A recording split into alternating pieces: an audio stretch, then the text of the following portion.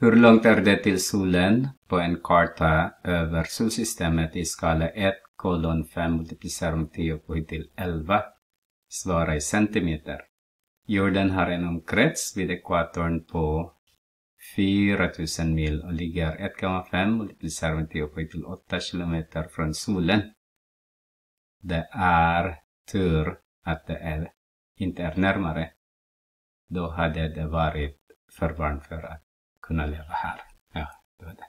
Okej. Okay. Så har vi bild här. Vi har verkligheten. Så har vi 1 kolon 5 multiplicerat med 10 upphöjt till 11. Och då pratar vi om centimeter här.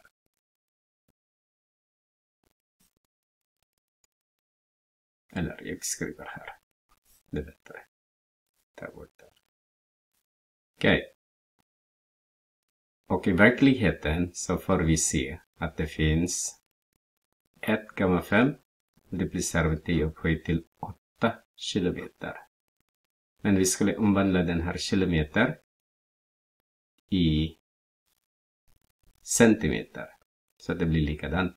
Så en kilometer är lika med 1000 meter och då har vi 100 000 centimeter eller 10 upphöjt till 5. Så istället att jag skriver kilometer här nu skriver jag med 10 upphöjt till 5. Och då pratar vi igen om centimeter nu. Så att om jag skulle multiplicera 5 gånger 10 upphöjt till 11 multiplicera med någonting, jag kallar den för x, så får jag 1,5 gånger 10 upphöjt till 13 egentligen. Så, för att räkna den 5 multiplicerat med 10 upphöjt till 11 multiplicerat med x är lika med 1,5 multiplicerat med 10 upphöjt till 13. Och som ekvationslösning, det har du lärt dig att det är man kan dividera båda led med 5 gånger 10 upphöjt till 11.